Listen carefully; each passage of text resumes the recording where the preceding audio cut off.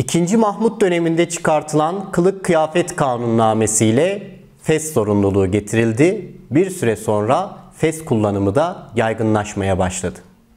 Herkesin fes giymeye başlamasıyla beraber bunu bir kanuna da dönüştürme zorunluluğu ortaya çıktı.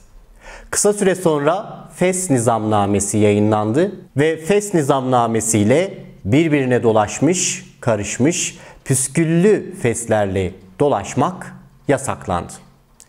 Yıllar sonra insanlar festen de, püskülünden de o kadar sıkılmaya başladılar ki fes için başımın püsküllü belası demeye başladılar.